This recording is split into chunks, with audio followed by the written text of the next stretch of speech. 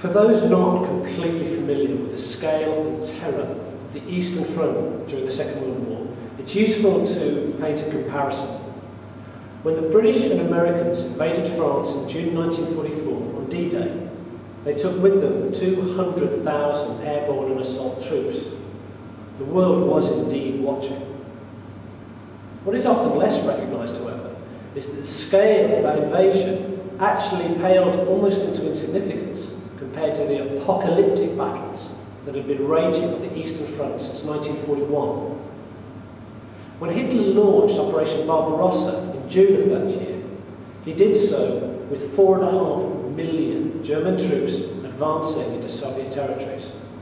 First through Soviet-occupied Poland, into the Baltic states, and then with three massive army groups supported also by Romanians and Finns towards Moscow and other key cities. On a battle arena this vast, it is problematic to try and identify the key moments of the war, but there are probably three phases that do stand out. Many military historians regard the battle before Moscow in 1941 as a key point beyond which it became almost impossible for the Germans to achieve total victory. This is open to debate. The objectives of Operation Barbarossa had not been to take principal cities, but rather to destroy the Russian armies in the field.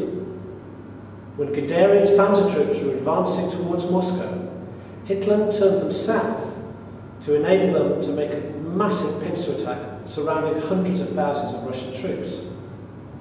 Yes, had he not done so, Moscow would have been taken. But Napoleon took Moscow in 1812. And that did not force the Russians to surrender. There is no guarantee it would have done in 1941. In 1942-43, the Battle of Stalingrad marked the high water watermark of Nazism. 450,000 German troops advanced towards the city, and the Sixth Army, Germany's best equipped and most potent fighting unit was drawn into a bloody street fight. This enabled the Russians to launch a massive counteroffensive, the first time they used blitzkrieg tactics of their own. They encircled the Sixth Army and destroyed them. Of the 450,000 that went in, only 10,000 came out. This catastrophic defeat, however, did not mark the end of the Third Reich. In June of 1943, they launched one last massive armoured assault. Indeed, it was the largest armoured assault that Germany launched in the entire war. Around the Kursk salient, they attacked with the objective of once again surrounding and destroying massive Russian armies. This time, however, there were delays and they were unable to keep their plans secret. The Russians were waiting for them.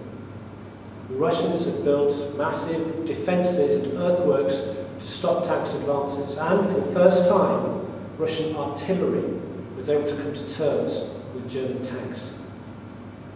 The assault petered out, and then the Russians were able to launch a massive counter-offensive of their own. The defeat at Kursk did indeed mean that German defeat was inevitable. However, it still took almost another two years before Germany finally surrendered in Berlin in 1945. The scale, terror and tragedy of the Eastern Front is unprecedented. There is nothing quite on that scale in the whole of human history. The consequences lasted well into the future, with Europe being divided for more than 50 years after the end of the Second two dictatorships, two ideologies, and two peoples struggling to overcome the other in a battle that was genuinely life or death.